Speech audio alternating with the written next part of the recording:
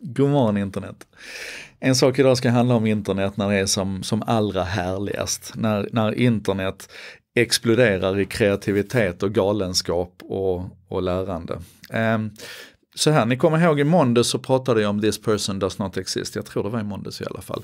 Den här sajten som varje gång du laddar om sidan så genererar den en, en ny bild på en icke-existerande människa inklusive kontext och allting. Det byggde ju på ett, eh, en algoritm som Nvidia grafikkortstillverkaren hade plockat fram som heter StyleGAN. Och då är det ju klart att när någon gör det här så tar ju internet den här idén och springer med den. Eh, så att eh, det dröjde inte länge innan This Cat Does Not Exist, som alltså tar samma bibliotek och samma koncept och skapar en, en, eh, en sajt som genererar nya kattbilder varje gång du laddar om sidan. Eh, de här kattbilderna de är ännu mer extrema och, och ännu mer knasiga. Men det faktum att någon gör det här, det säger ju ändå någonting om hur enkelt det är, alltså hur låg tröskeln är. Um, I princip lite klipp och klistra och så har du kopierat this person does not exist över till this cat does not exist.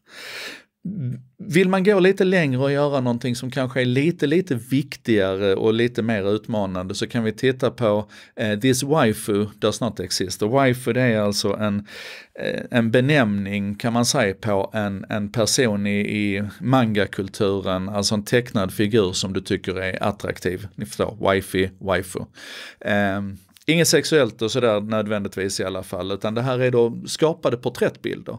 Och den personen har, har också använt StyleGAN men han har ju fått skruva till den lite grann för att eh, Katter fanns i konceptet från början men, men mangaporträtt fanns inte i konceptet från början så att han har liksom fått göra en anpassning. Och då ser vi hur vi börjar bygga vidare på, inte bara kopiera och imitera utan bygga vidare på ett existerande koncept. Den som tar det ännu längre då, det är en kille som heter Christoph, ska säga, han heter Christoph Schmidt. Han har gjort en fullständigt briljant sajt, han har gjort This Airbnb does not exist. Jag vet inte om ni, om ni följer mig så, när jag såg This person does not exist så tänkte jag shit, här skulle man ju hackat ihop någonting som skojade till det med Tinder. Eh, och skapade eh, fejkade Tinder-profiler, eh, någon slags DDoS-attack mot Tinder. Men när jag bara tänker tanken så har då Christopher här gått iväg och, och gjort istället, Chris han har, han har byggt, eh, inte mot Tinder men tanken att man skulle kunna skapa fejkade Airbnb listningar. Och han har gått ännu längre då än, än This Waifu och This Cat. För vad han har gjort är att han har tagit StyleGun och det konceptet de hade med att bygga badrumsbilder. Och sen så har han då plussat på då ifrån TensorFlow-idén, det här, eh, ska vi säga här, vad hette den som skapade eh, Predict Shakespeare with Cloud TPUs. Han har tagit samma algoritm och samma koncept där och matat det med Airbnb-texter istället och utfaller då fejkade Airbnb-texter. Och sen så syr han ihop det här. Och jag ska villigt erkänna att man ser direkt att det här är fejk. Det är, det är inte alls lika polerat och fint som this person does not exist. Men konceptuellt är det ju tusen gånger intressantare än att, att bara kopiera eh, och bara skruva på. För här börjar vi närma oss någonting som som det nästan finns en, en verklighetsbaserad tillämpning på.